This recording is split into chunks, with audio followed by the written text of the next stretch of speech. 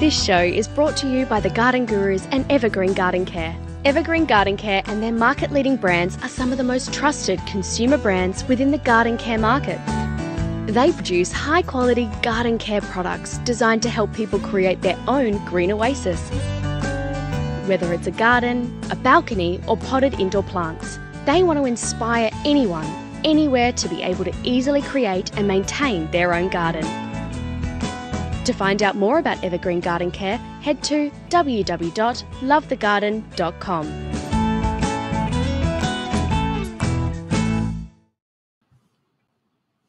Hello and welcome to the Garden Gurus Live. I'm Sue McDougall. I'm so excited to be joining you, filling in for Trev. He's away again somewhere warmer, hopefully, um, for today. Looking forward to it. Now, I'm so sorry about the technical issues and thanks for joining us. Thanks for being patient.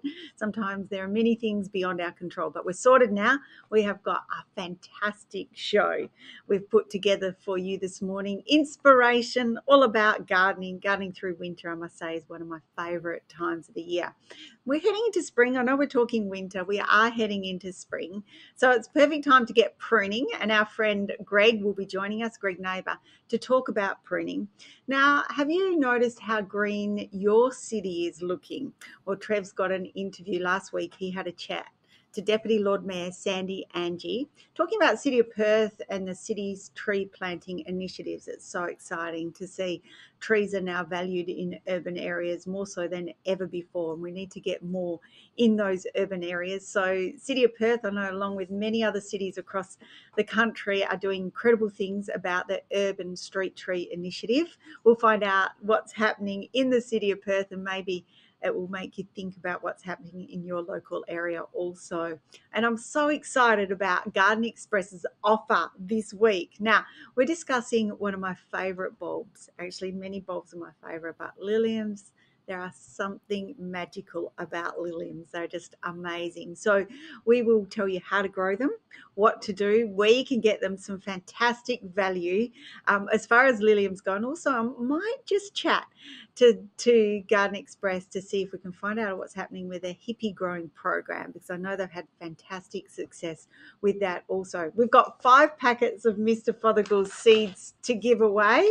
Now, stay listening because we can we can all joining the show also.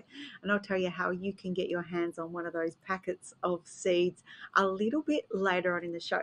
Now, don't forget, Facebook Live is all about your questions and answers to your gardening queries. Maybe you've spent the weekend in the garden and something exciting is happening, or you've got an area that um, maybe needs some help. But it's all about finding out finding out what's happening in your area.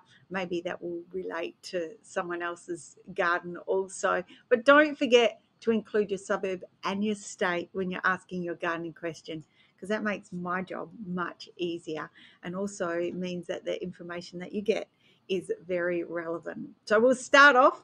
We're going to go pretty quick to get through these. Cherie from Bunyip in Victoria, southeast Queensland, looking gorgeous at the moment. My indoor peace lily is producing green flowers instead of white. It's been in the same spot for two years. Why would this be happening now? Does it need some power feed? It's actually a little bit to do with the light. Um, you'll find that the flowers start off white and fade to green. So it's a bit to do with the light when it comes to indoor um, indoor spathiphyllums or peace lilies. Yeah, it wouldn't hurt to give it some power feed, even some controlled release fertilizer at this time of the year also. Hope that helps. At least you've got flowers with nice warm position as well. Olive, I've got a Tibouchina plant I'm trying to grow. The leaves have fallen off. Is it going to die or is there something I can do? Tibouchina is actually interesting, Olive. It's they get affected by the cold and the wet. So, not knowing where you live, um, yes, they can drop some of their leaves, particularly the dwarf one tends to drop its leaves. If it's in a really soggy spot and it's a little bit waterlogged, keep it out of the water. If it's in a pot, lift it up, make sure it's free draining. They don't usually die, but over winter sometimes, with that slightly hairy foliage, they tend to look a little bit off. But you'll find it won't be long. We are in the beginning, in middle of July, not long, six weeks, and we'll be into spring and it will shoot away. But most important is to make sure it's not sitting in water and it's in a really warm spot. So if you live in a cold spot, move it around if it's in a pot. to put it somewhere where it's quite warm for that beautiful winter sun. And so, hopefully, don't forget, keep adding your questions while we're chatting. Um, see if we can find out and get through as many questions as possible. Lots of gardening advice happening here this morning on Garden Gurus Facebook Live. I'd like to introduce someone who's no stranger to us all, has been part of Garden Gurus Live for a long time. Our next guest and a great friend, I know he's been part of it, Greg Neighbour from Love the Garden. Hi, Greg. Oh, good to chat to you. Now, today we are heading into spring. I see you've got a beautiful painting behind you.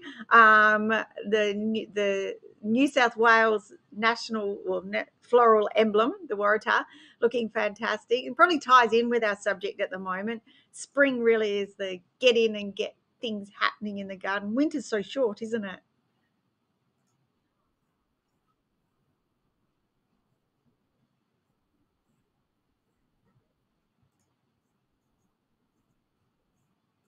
Yeah.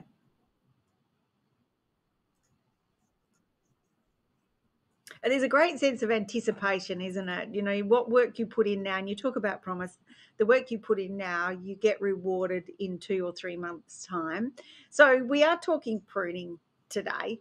Give us your tips. I know you've been gardening for many years. Give us your tips on pruning, time to get stuck into the garden and really, I to say, give it a good clean up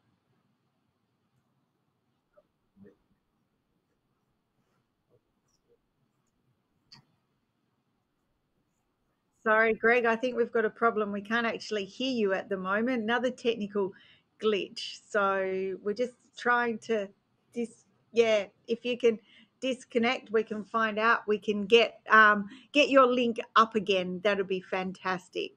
Sorry about that, Greg. Let's go while we're talking. Let's go to our question just while we get Greg back. Pruning is virtually the time of the year to get stuck into your roses, and we'll get the best tips on how you can prune your roses. Caroline in Victoria, welcome to Garden Gurus Facebook Live, Carolyn. I've planted my daffy bulbs in a wine barrel and they've just started to flower, but they're falling over. What can I do to prop them up? I actually find one of the best things you can do, Caroline, is just take a few branches. If you've got a few deciduous trees, a few finer twigs of deciduous trees, and you see this around in rainy climates everywhere, you put a few branches into the bulbs just around and that light branches that you've got the deciduous branches that you've got you prune off your fruit trees or your silver birch or anything you've got just holds them up enough particularly those fine branches, hold them up enough so that they don't fall over. They tend to fall over. One of the tips is to give them a little bit of high potassium or fertilizer that's got potassium in it, and that helps strengthen those stems, which is very important also when you're growing bulbs. To Dandenongs, good morning or good afternoon. Margaret, what a good perennials to plant so that my spring summer garden will look spectacular. Well, in the Dandenongs, you've got the most fantastic opportunity to plant some fantastic perennials. One of my favourites, and there's not just one variety in um, this whole range of plants. There's many different varieties. I'd be looking at salvias. Now, there's incredible number of perennial salvias that will keep growing, keep flowering, and look fantastic for many, many months, right over summer, um, spring, summer, and autumn. So there's a great range of those around. If you can look for other um, penstemons, another fantastic, the perennial penstemon does brilliantly in a little bit few of the cooler climates. And some of the hardier, just the hardier native plants, some of the ground covers, scaevolas would look brilliant and keep flowering right through summer. And while they're, they're classed as an evergreen ground cover shrub, they'll add some colour brilliantly right through right through the spring, summer, and autumn. I think you'll love them if you can put them in your garden. Keith from Moorebank in New South Wales are juniper berries poisonous? The birds seem to like them. There's a few tannins in them. They're not actually poisonous. Juniper berries are actually used to flavour um, gin. I know that's one of the things that they use. So they're not not poisonous, but we can um, definitely, definitely use them. So the birds do love them, and it's also interesting food source when there's nothing else around.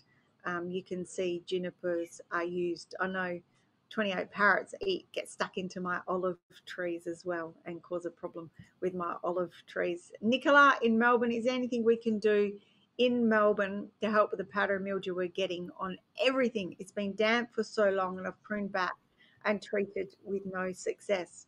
Well, powdery mildew is actually a really interesting fungal problem that gets into the leaf, underneath the top layer of, of leaf. And you'll find that once it gets underneath that top layer of leaf, it little Fusarium gets in there and you can get rid of the problem at the top, get rid of the symptoms, but actually the cause of it's not causing a problem. So thickening the cell wall with fertilizers that are going to build up resistance to disease for plants for disease is going to make a huge difference. Also, milk is used as a mild fungicide. You can try milk as a mild um, fungicide.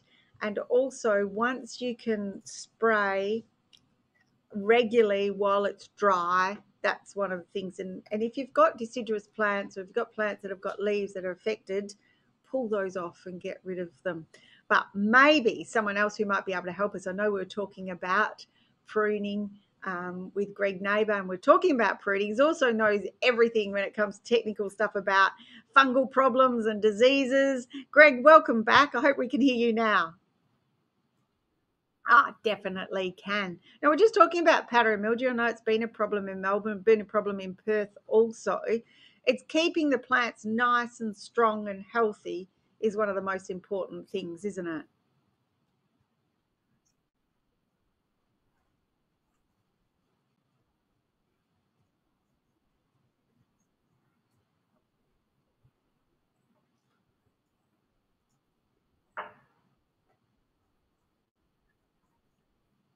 Oh, now, Greg, I think we're going to, we still can't hear you in the stream. I can hear, I can hear you, unfortunately, but for our, for our um, viewers, um, Greg was talking about this huge amount of research going on about uh, building up good nutrition and how that's going to be the future of technology when it comes to keeping plants nice and healthy. So we might have to wait for that information, get our technical glitch out of the way, Greg.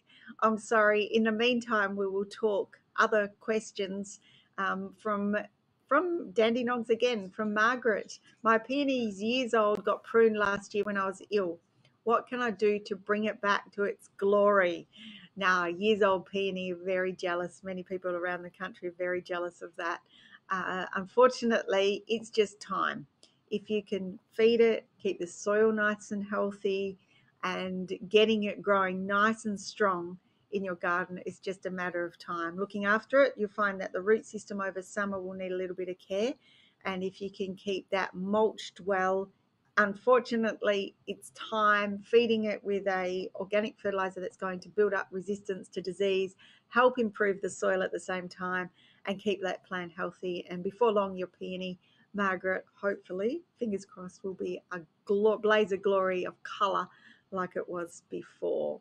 Now, from Ken in Perth, I need some advice on what to do next. All my potted young edible ginger plants have decided to dry up. I could only see very small ginger rhizome underneath. Do I just leave them be in the pot? In Perth, we're having cold winters. Ginger grows brilliantly in warm, humid climates. So, yes, it will die back. The plant will be dying back at the moment. Keep it on the drier side. And as soon as the weather warms up, Ken, you'll find that the plant will just bush up and start growing. And if they're potted up, you can repot them at that time also. Keep them a little bit damp, but not totally dry so that they dry out completely. Actually, ginger does brilliantly, aside from anything else, ginger does brilliantly in aquaponics also. Now, Greg, we're going to try you again. Can't actually see him on my screen at the moment. He's disappeared. So, unfortunately, let's head, instead of talking to Greg, let's head and talk to asparagus. My asparagus plants from Narelle. This question is keep those questions coming. We've got technical queries at the moment and, and problems. So, if you can keep the questions coming. We'll just keep answering it. So my asparagus plant is slowly dying off for the winter. Where it's planted, the soil is really hard. Is it viable to dig up the bulbs, fix the soil, and replant them? No, incredibly, um, Narelle asparagus are so hardy. They do fantastic. They're a long-term crop. Even in hard soil, they'll still keep growing. So their use of liquid organic soil improvers and soil conditioners helps improve the soil. Digging them up, they're actually a crown, not a bulb. So, yes, you can dig them up, loosen the soil, and get them growing, and they do die back. At this time of the year, you cut all the fern off and then you mulch them really strongly, oh, thickly, and ready for when they shoot away again when it comes to spring. So, if you want to, you want to dig it up, loosen the soil, you can add organic matter to the soil, particularly if it's very heavy clay. But some of the asparagus crowns do grow in heavy clay, and you'll find the use of a liquid soiling conditioner, a liquid soil improver will make a huge difference to help add microbial activity to that soil and loosen up and make the structure way more crumbly as well. Now we'll head to Victoria in Montrose. Hello, Sue. My lemon and lime are fruiting. Lemons for the first time. Well done. Every house, I say, should have a lemon tree. Lemons are small and shriveling up, and the limes are turning yellow. Oh, not so good. They're in pots on deck. They get limited sunshine due to the trees' location, due to trees on property.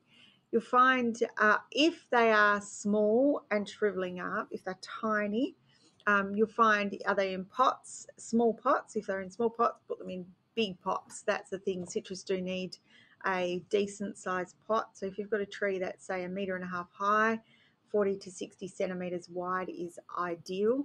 And if they're shriveling up, make sure the water's soaking in, make sure there's no ants in the root system of the pot, and there's not too many fruiting. If they're very small and they've just flowered and they're very small, sometimes it's to do with pollination also. If the limes are turning yellow, limes actually do turn yellow. They start off green, and if they're not harvested before they're ripe, they do turn yellow. So if they're a decent size, at least a squash ball size, harvest them when they're green and just enjoy them because the more nutrients you give that tree, the more regular that fertilizing program happens, the better your tree limes will be and also the longer they will stay green. Now, we might be working again. Greg, we were talking earlier about nutrition and powdery mildew. We might see if we can um, hear, everyone can hear you and pick up on that point.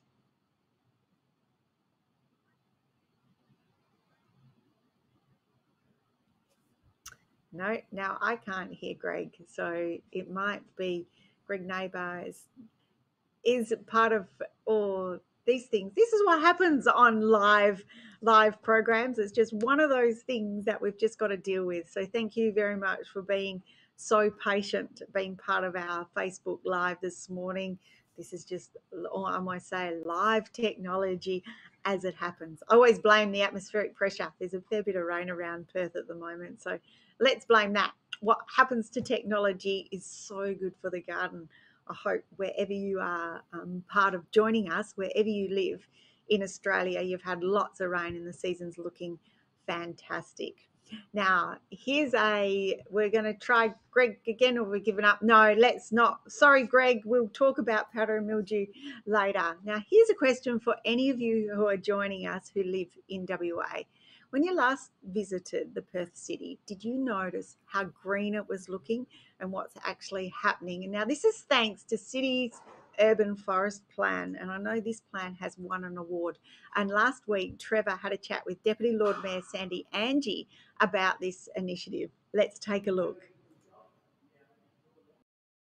One of the biggest challenges facing us as a community long term is keeping our cities green. And many of the councils right across the country have done a great job with that. But uh, there's a particular initiative I wanted to showcase today.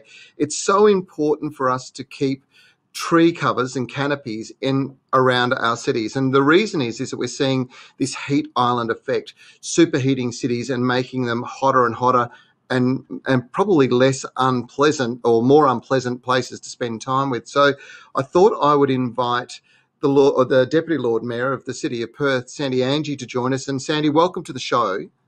Hi, Trevor, and thanks for having me.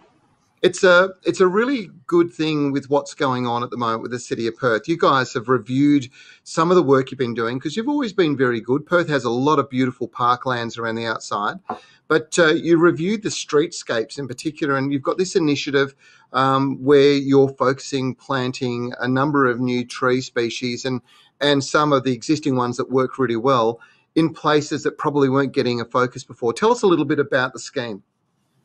Yes, so it's called the Urban Forest Plan. It was something initiated by the former council back in 2016. So one of the goals was to increase tree canopy within the public realm.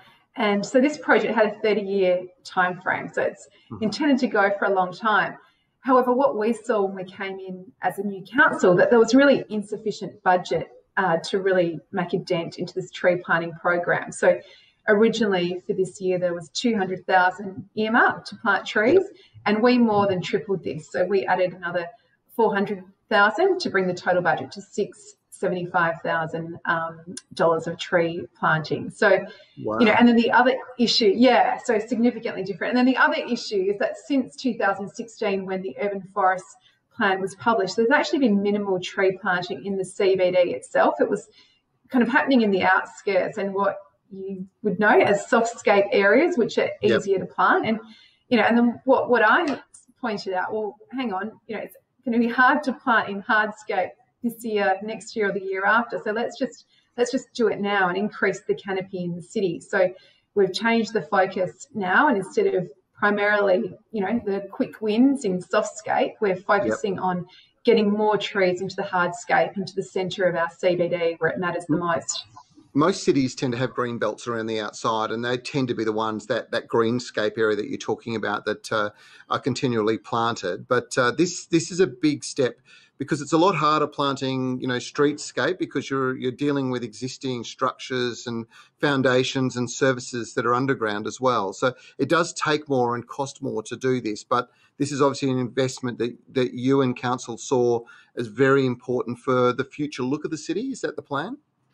Well, that's right. It's a future look and also the health of the city and our residents. So, as we try and increase the city's population, currently the population is around 30,000. We're looking to triple that by 2050 is the aim. And so, you know, that's, um, you know, we need to get as much green space into the city as possible. And, and just while I was waiting to chat to you, actually, I was reading some research that just came through in you know, the daily emails that we all get.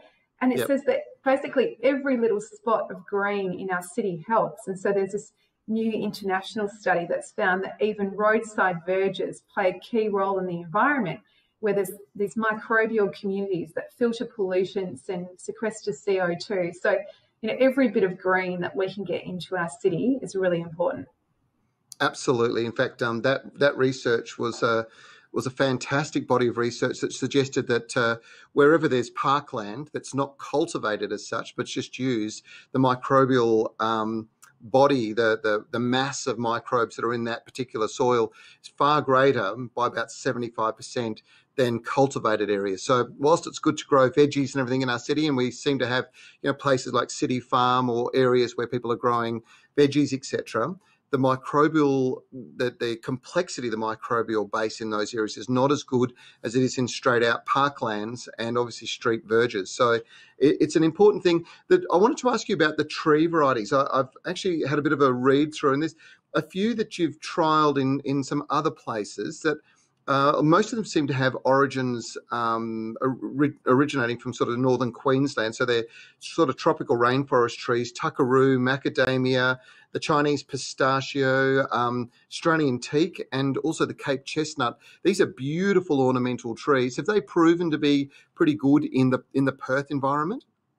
Yeah, look, I, am not a tree expert, but I was surprised, like you, to see the variety. And there's actually an interactive map on the city's Engage Perth website where you can actually look street by street what trees are there. And I think part of the plan with this diversification as well is that, you know, if a disease should take, catch on one variety, yep. that it's not going to decimate every tree across our city. So I think that's why there's a broad range of trees. And I think also this um, you know the trees are being matched with what's been planted over time so mm-hmm. you know various tree planting programs over the years have focused on different species so we've we've got this broad range and, and it's funny you don't i started paying more attention so just driving down um, the stretch of hay street in west perth where my office is it's actually all gum trees which is mm-hmm. beautiful to see and you know that's really uncommon to see gum trees in our city and it's you know we don't even have it in our sub have gum trees in our suburbs so I think that's you know great to see this diversity. I look, I'd imagine the city of Perth has done a significant amount of your parks team are, are uh, well known nationally for the great work that they've done, and they do a lot of research.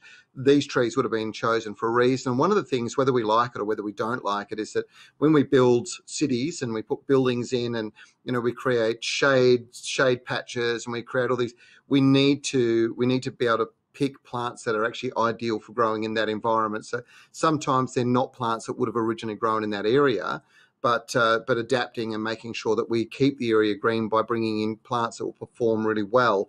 Good example of that is probably the the main drive on Fraser Road up in Kings Park, where you know we've basically got lemon scented gums which don't originate from from that particular region, but they had tried many different plants and they just wouldn't grow in that environment and, and provide that stately effect.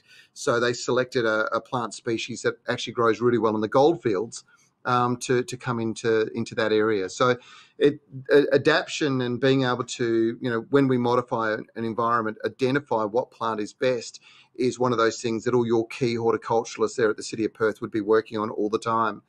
What with regards to actually celebrate that more as well we should, yeah. It's it. Look, it's diversity in its in its um, true extent. I, I, I don't think we should ever apologise for bringing in different species and, and bringing diversity because I think it's a it's a wonderful thing.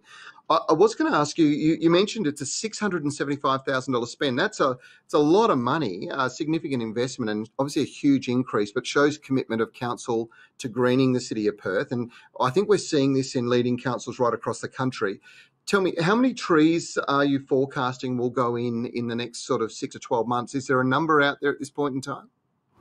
Yes yeah, so i don't actually have the total number with me. I've got piles of of papers here because i've got the um, original plan and not the the numbers from the finalized plan but mm. it is literally um, you know hundreds of trees. So i know i saw driving down well hackett drive i think 42 have gone in the last few weeks. Again, that's a softscape area, so it's easier to plant. But you know, it is hundreds of trees across our city. But you know, when you mentioned the cost before, so I do have the costings here that I can share with you. So hardscape environments, it's actually three thousand eight hundred per tree versus softscape four twenty. So it is expensive when you're digging up the road and you know you're obviously having to divert traffic and you're dealing with all the services and everything that happens underground in the city. It is a costly thing to do, but a really important investment. And when you think of the things that the city spends money on, um, you know, temporary activations and things like that, this is something that is, is here for, for the lifetime of our city, for generations to come. So it's so well worth every dollar that we're spending, in my view. Absolutely, the the trees that um, that you're you're putting in, each of these trees can quite comfortably live anywhere between two and five hundred years. So there's people who are going to be visiting the city that see the work that the council has initiated now. Um, you know, and it could be two or three hundred years down the line where they're going to be looking at these magnificent trees, saying, "Wow, somebody must have really had the foresight and vision to think of what this would do for our environment and the, our enjoyment as as occupants of the city in, well into the future." So, I look, I, I just wanted to bring you on board and and congratulate you and the and the city of Perth on on what is a, a, a great initiative and uh, encourage you to keep doing it and, and, keep greening the city of Perth. And hopefully, lots of other councils are tuning in, in and around the country, watching uh, what we've talked about today, looking at their plans, and continuing to do the same thing for all these major cities. So, we do reduce that heat sink. We do improve the environment people are living in. And of course, as you rightly pointed out, those trees take toxins out of the atmosphere. They take carbon dioxide out. They they store it as carbon in our ground, and and and um, that's a that's a good thing for the environment long term. Thanks, Trevor. Now, for your chance to win one in five packets of seeds, all you need to do is tell us what ornamental tree is growing in your garden. Now, write it in the comment section. You've got one of five packets of seeds to plant in your garden. So join in, be part of the Garden Gurus Facebook Live this morning or this afternoon. And it ties in, that question actually ties in with my plant of the week. Now, this is absolutely my favorite ornamental tree. We always put it like this, but it actually grows like this. It's a weeping apricot and it flowers in July. You always think spring has sprung. These little pink rosebud type flowers you can see. It's inspirational. It comes, it drops its leaves early, beautiful gold tones, hangs this beautiful umbrella canopy that's stunning. And then there's nothing. Then July, always the first of July in my garden, it pops into full flower and it's like these cascading pink buds that come down. And then by the end of by the middle of August, it's empty. There's nothing for a few weeks, and then the leaves come. So have a look at it. See if you can plant it in your garden because it's one you don't see often, but definitely worth a position. One of my favorites. The color is gorgeous, and when you see it on those beautiful winter sunny days, you think gives you a little bit of hope that spring is certainly around the corner. Now, I know spring is around the corner when we're talking to Garden Express David Van Berkel because he's all about spring and bulbs and some exciting things happening. Talking liliums this morning. Welcome, David. Hi, Sue. How are you going? Oh, so good. I just love this time of the year, I must say. I know I'm thinking of you. I hope I hope a lot of people on the East Coast are getting into their garden. They've got opportunity to plant this uh, beautiful collection you've got to tell us about this week. Yes, some beautiful liliums. I don't think many people will be gardening this week. It's uh, pretty cold and pretty wet for the whole week, I think. So, um, but still, we can we can get out there as soon as the sun breaks again. Yeah, certainly. Now, liliums are a favourite. Do you think people um, have embraced them? They see them in pots and buy them as cut flowers or buy them in pots already growing. But do people realise how easy they are to grow? I don't think they do, Sue. I think we're ready for a resurgence on lilies. It's um, you know one of those those old fashioned favourites, I suppose, but they are so easy uh, all over the country. Uh, up north in Queensland, they just sort of keep growing and growing, and the the flowers uh, repeat themselves year after year. So with a bit of fertilizer, um, these are bulbs that just can live for ages. Yeah, they certainly are. So, you know, when you buy a collection, I mean, you've got a fantastic offer for us today, and we'll talk about that in a little while. But you buy the bulb already. That liliums are different because they've got these little bud scales, but you're guaranteed of a flower, aren't you, the first year? Yeah, absolutely. Like if you pull each of the scales off, they will eventually grow and turn into, you know, a complete bulb. But the, the size of the bulbs that we're selling are, of course, flowering size bulbs. Uh, and all of those scales sort of come together to surround that, that flower that's in there. So um, beautiful bulbs, beautiful value collections we've got for you today. Uh, and of course, liliums are quite a broad spectrum plant in the different styles that you can get. So you tell us about that, and we tend to bundle all liliums together, but they do vary so much. You've got the LA hybrid collection now, and also the Asiatic pot collection, depending what you want to use them for. Yeah, exactly. So the LA hybrids are um, they used to the Asiatics are the uh, are the old fashioned sort of varieties that gives you that nice ninety centimeter stem. Um, and so the LA hybrids are kind of a new cut flower breed of those old Asiatics, and they just give you this beautiful crown of, uh, of flowers on top of each stem, make it beautiful for picking. Uh, and as I said, to about 90 centimetres. Whereas the Asiatic pot lilies are a, a new uh, gardener's breed, I suppose, not for cut flowers, but for potting. They only grow to about 40 or 50 centimetres with that same kind of crown of flowers at the top. So a beautiful mass of colour off each bulb. So when we get them, when we grow them as cut flowers, do you think that um, just planting them together, what sort of conditions do they need if we were say growing them for cut flowers? And can I time a lilium almost to an event I was having? So you know, imagine beautiful bunches of fresh, fresh grown cut flowers as liliums. Um, is it easy to do when we're talking bulbs? Yeah, absolutely. Like liliums, they do love to be in a pot, but they also love uh, a garden bed situation as long as it's free draining. Uh, then during your winter months when it's dormant, you haven't got too much moisture around the bulb. But yeah, coming back year after year in the garden, spaced out a little bit, they're, they're quite vertical in the way that they grow, but the flower buds need to have, or the flower heads need to have a little bit of room. Oh, you're inspiring me. Now, also, I really wanted to talk to you about your growing conditions. You know, everyone wants to know where their crops come from, particularly when they're talking about food. And I think plants are no different. And I've got on best advice. Um, I saw just earlier, and I'd love for you to share it if you're possible, if you've got it to hand. The size of your hippies this year are fantastic. I've, I've got a great one here for you. Wow the head wow. almost the size of my uh, of my head. Um, These are sort of, it's just about time. This is actually grown here in Victoria.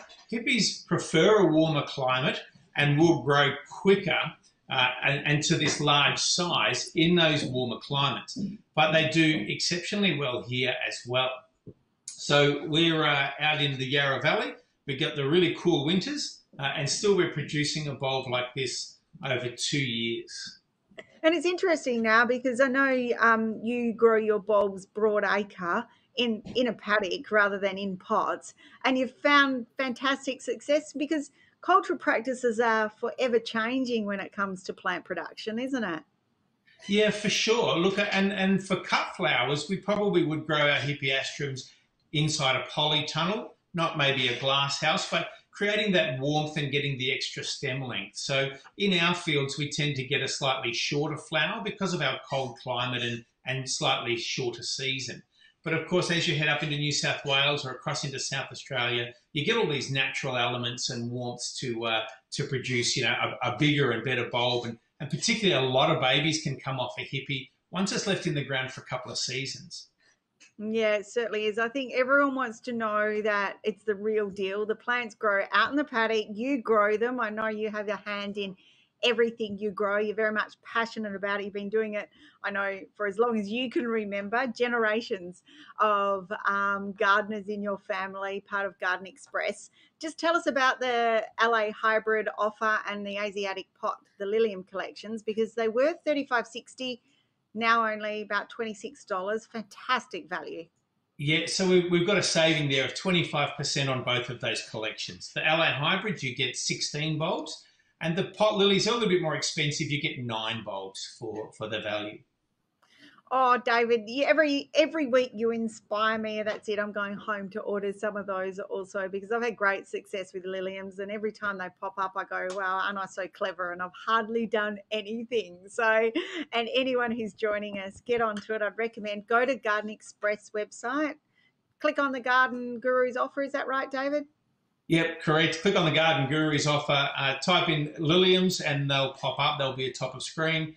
And uh, and I agree with you. Liliums are just one of those fantastic summer color. And I did want to mention it's about 15 weeks from when you plant them to when they flower. So you can actually put a little bit of timing into your summer flowering bulbs. Gladioli are the same. Um, so if you want flowers on Christmas, you kind of work 15 weeks back from that general rule of thumb. I love that rule of thumb because you know you you might have an event or a New Year's Eve party or a Christmas party happening at your place, wedding, whatever's happening, a garden party to celebrate uh, summer. If you could put some colour in, then really you've nailed it. I think, David. Absolutely, and then you can also have a, a couple of planting times for your season. You know, starting some flowering in November, but also finishing all the way through to March or April, particularly with the, with the lilies. They've got quite a long flowering season. So, um, yeah, happy days. I look forward to it. I hope to catch you next week. Maybe we'll talk about the Hippeastrum catalogue because I know that's out and about. I am so impressed with the size of them. And I think there's a resurgence when it comes to Hippeastrums as well. People get scared of them. Don't ever be scared of a Hippeastrum. They are another bulb that's almost impossible to kill. But the Garden Gurus offer, sorry, the Garden Gurus Garden Express offer are liliums. Keep them out, look out for them. The LA Hybrid Collection, you've got 16 bulbs they were 35.60. You've got a saving of 25%. And the Lilium Asiatic pot collection, you've got nine bulbs in that, and there's a saving of 25% with those also. David, enjoy your day. Will do, and love to talk hippies next week with you soon. Look forward to that very much. Let's head back to our question and answers. Don't forget to join in to win one of five packets of Mr. Fothergill's seeds. What ornamental tree have you got growing in your garden? Ties in a little bit with my plant of the week, Weeping Apricot, which is one of my favourites at this time of the year. Let's head to Gidgee up in WA. Is this the right time to prune fruit trees or wait to the start of spring? Peaches, plums, and apple. Can you recommend someone who can teach me how to prune? Head, Claudia, head to your lo- local garden centre and see if you can find someone who's local. There's lots of information around to your local garden centre. Be able to get someone can help you to prune. What time of the year to prune depends actually if you those varieties of plants, like the peaches and nectarines that fruit on their new wood, it's better actually to give them a summer prune. If you prune them immediately after they've finished fruiting, then you send out beautiful new growth. That's the fruiting wood. Plums have a winter pruning. Yes, definitely this time of the year. And apples, you prune for winter at this time of the year. And don't forget a really good cover spray with a copper based spray to clear up any insects and any fungal issues you've got with your fruit trees. Heading down south to Collie in WA. Hi, Kelly. Is there any truth in only pruning roses every second year to get better blooms? Never heard that one, but it actually depends on the variety of roses. Some roses are spring flowering and only flower once a year. Some roses really need that beautiful new growth to come back. The reason we prune roses is to regenerate the plant. So you want to get beautiful long water shoots, really strengthen those plants and to get them nice and strong and healthy. So those water shoots are really strong and healthy. That's your flowering wood. So if you want to regenerate the plant, do it every year. I would always prune my roses every year as well. And I always say, just a tip, I always say, for me, later the better because the later I prune them, the less chance that the aphids have to find them. Maybe that has happened in your garden, maybe it hasn't. If it has, put a note out. Um, join in the conversation, put it into in the comment section because it's worth it. Less aphids in the garden, the better. From Ipswich in Queensland, Scott, what is the best position for growing veggies? Scott, veggies need as much sun as you can get. So I often say at least six hours of sun a day. If it's really hot over summer, a light shade cloth helps a little bit, a little bit of protection from that hot afternoon sun, but you'll find you'll have the best veggies possible if you can give them five or six hours of sun. I often find just a little bit of hail guard, so a very light woven material is just enough if you're trying to grow veggies in a hot climate, just to break them up and just keep them a little bit protected. The dandenongs, what are some lovely trees I can plant for privacy? Oh, so many. Margaret, if you're going to plant some of that beautiful evergreen trees, depending if you can get um, water to them, some of the evergreen magnolias are just absolutely brilliant for privacy. Viburnums are brilliant. You can plant uh, Choisya is another one. Murraya might be a bit too cold where you are, but definitely Choisyas and Magnolias would be really good. Um, check those out. There's so many different cultivars you can plant. And then if you want to plant some some um, of the bushy native plants, Dodonaea is another great one. That's a bushy shrub that does fantastic for screening. So depending what height you want, even deciduous plants sometimes are really good for screening because at least if they're thick foliage, always when you're planting a hedge for screening and if you've got space, it's always a good good idea to plant them on an angle. So you just alternate them. So you plant two rows and they're offset from each other and that's the way you can get foliage all growing in together and looking absolutely fantastic in the garden. So keep your comments coming. We'd love to be part of, uh, for you to be part of Facebook Live. Don't forget you can join in with your comments what ornamental tree you're growing in your garden to win one of those five packets of Mr. Fothergill seeds. And are you inspired by our offer of the week this week? Liliums, I am. They do brilliantly in a pot. So beautiful, big, a little bit of an idea. Head to the garden centre, get a pot if you can, some premium potting mix, and some bulbs, and then put a few pansies or a few cascading petunias around the top. So while your liliums are coming up to flower, you can enjoy some colour from your annuals that you've planted on the top layer. That's easy.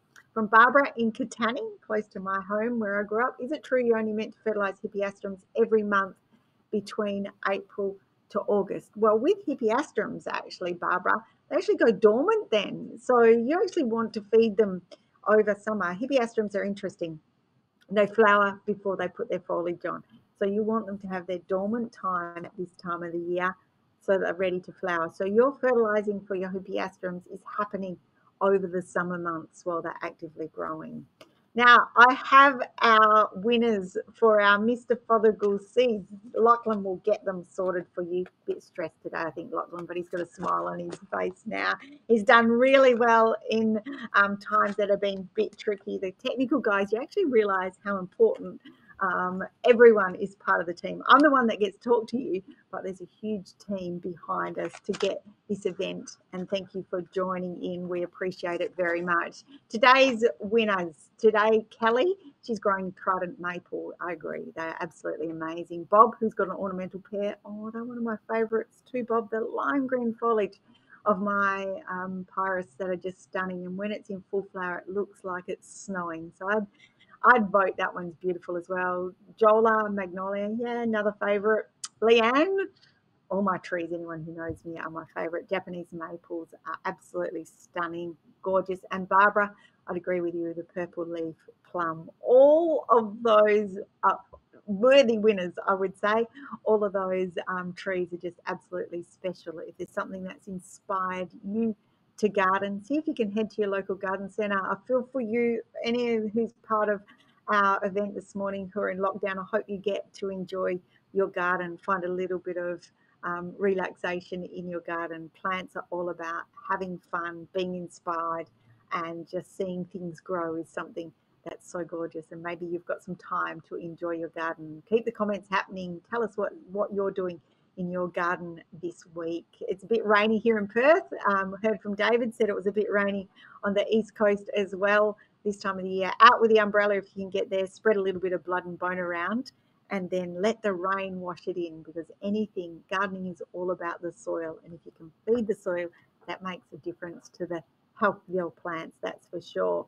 And that's it for today's episode of the Garden Gurus Live. Thank you so much for joining us. Now, Lockie will send a message to the winners who have sent their um, trees, their favourite trees in, the winners of the packets of seeds, and they'll be coming your way very soon. Now, remember, you can always jump onto our website and catch up with our previous stories from the Garden Gurus at thegardengurus.tv or our YouTube channel, The Garden Gurus TV also. And you can listen back to today's live stream and catch up on previous episodes on Spotify, Apple Podcasts, and Audible. Maybe you can do that while you're spending time in the garden with the umbrella and it's raining. Now, I'll be back next week. So make sure you tune in at 12 p.m. Australian Eastern Standard Time. Happy gardening. Enjoy your day. This show is brought to you by the Garden Gurus and Evergreen Garden Care. Evergreen Garden Care and their market leading brands are some of the most trusted consumer brands within the garden care market. They produce high quality garden care products designed to help people create their own green oasis. Whether it's a garden, a balcony, or potted indoor plants, they want to inspire anyone, anywhere to be able to easily create and maintain their own garden. To find out more about Evergreen Garden Care, head to www.lovethegarden.com. Garden Express are Australia's leading mail order gardening service, offering a wide range of quality garden products. Each week on the Garden Gurus Live, the team at Garden Express will share a weekly offer. So make sure after today's show you jump online and visit their website. Visit the Garden Guru's online store and browse through a collection of high quality, German made Wolf Wolfgarten tools. You'll also find a range of books with information to help create and maintain a beautiful garden. You can also access the online store on the Garden Gurus Facebook page.